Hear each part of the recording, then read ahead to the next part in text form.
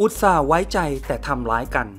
ป้านจือวีวงทไว้นะครับถูกป้นที่แท้คนไว้ใจซื้อไต้หวันรายงานว่าบ้านของครอบครัวจือวีวงทไว้นะครับในไต้หวันถูกขโมยขึ้นบ้านนะครับเมื่อไม่นานมานี้นะครับล่าสุดนะครับเจ้าหน้าที่ตำรวจเนี่ยรวบตัวคนร้ายได้แล้วนะครับอย่างไรก็ตามนะครับโจรเนี่ยไม่ได้ขโมยทรัพย์สินที่มีค่างวดใดๆนะแต่เป็นโปสเตอร์อัลบั้มของเธอและรายการอื่นๆนะแต่ที่น่าตกใจแทนก็คือผู้ก่อเหตุนะครับเป็นพนักงานทำความสะอาดที่ได้รับการแนะนำให้มาทำงานโดยคนสนิทของครอบครัวนั่นเองนะครับพนักงานทำความสะอาดรายนี้นะครับทำลายความไว้ใจของคนในครอบครัวของไอดอลสาวนะครับด้วยการขโมยทรัพย์สินของจื่อวีรวมถึงโปสเตอร์อัลบั้มต่างๆ และสิ่งของอื่นๆนะครับพนักงานทำความสะอาดคนนี้นะครับถูกจับทันทีนะครับเมื่อครอบครัวจื่อวี พบว่าทรัพย์สินสูญหาย และแจ้งตำรวจให้จับนะครับเจ้าหน้าที่ก็มาจากเมืองเกาสงนะครับยึดภาพถ่ายนะครับ 62 ภาพ อัลบั้มเพลง 11 อัลบั้มและ photobook ของ Twice นะครับ2เล่ม พร้อมลายเซ็นทั้งหมดนะครับก็เป็นตามนี้เลยนะครับขายในอินเทอร์เน็ตนี่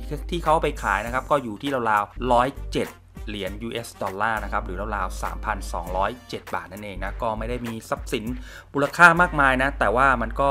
ดูแล้วก็เหมือนทำลายความไว้ใจของคนในบ้านนั่นเองนะครับตำรวจเนี่ยได้จับกลุ่มคนร้ายรายนี้นะครับโดยอาศัยข้อเท็จจริงนะครับที่เธอตั้งใจที่จะทำกำไรจากการขายสินค้านอกเหนือจากการโจรกรรมนะครับขณะนี้ผู้ก่อเหตุเนี่ยได้รับการประกันตัวแล้วนะครับอย่างไรก็ตามนะครับทาง JYP Entertainment นะครับก็ยังไม่มีการถแถลงการอย่างเป็นทางการใดๆนะครับกับเรื่องที่เกิดขึ้นนี้นะครับ